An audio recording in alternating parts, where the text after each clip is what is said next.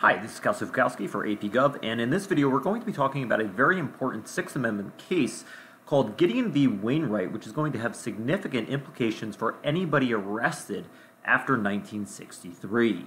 So a little bit of background for you. A man named Clarence Gideon is arrested for allegedly smashing a window, stealing cigarettes, and around uh, $5 worth of money, and again, keep in mind this is 1961, from a pool hall and he's an illiterate drifter. He's been arrested multiple times, and he cannot afford a lawyer. So, as you know, the Sixth Amendment does state that everybody has the right to an attorney or a lawyer, or counsel as it's known. However, what happens if you cannot afford one? Well, at this point, if you were arrested for a non-capital offense, meaning that it wasn't murder or something, you know, extremely serious, you were not entitled to what we have today known as public defenders. So Gideon's nevertheless going to petition the court for a lawyer because uh, he is going to be facing a felony here. But he is denied and he has to represent himself. And again, keep in mind, he's illiterate. And ultimately, he's not able to uh, basically provide himself with an adequate defense. He's convicted and he's sentenced to five years in prison. Well, with the fact that he is illiterate, it is very impressive that uh, Clarence Gideon begins hitting the books at the prison library and studies law. And he ultimately is going to be filing a petition to the Court of Appeals. That's going to be rejected. And then finally, he's going to write another one uh, for what's called a writ of habeas corpus. And that will eventually be accepted by the Supreme Court of the United States. And again, as I mentioned in the previous slide, counsel was only provided for capital offenses at this point, not for things like petty theft.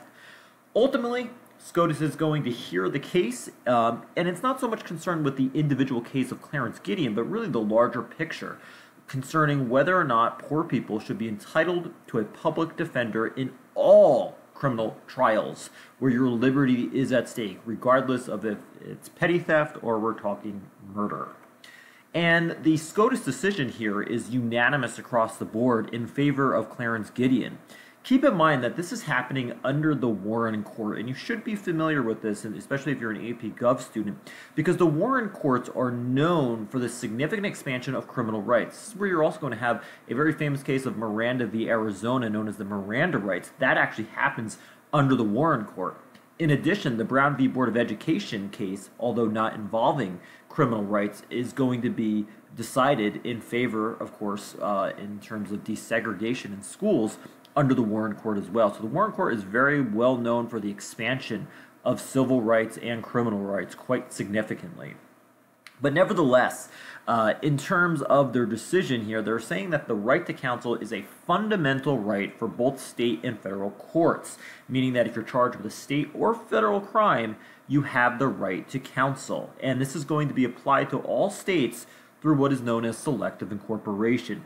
Basically, this is applying this particular aspect of the Sixth Amendment to all 50 states. So, regardless if you're in Hawaii, Alaska, Montana, New Jersey, Florida, Alabama, this ruling pertains to those all 50 states and it's incorporated.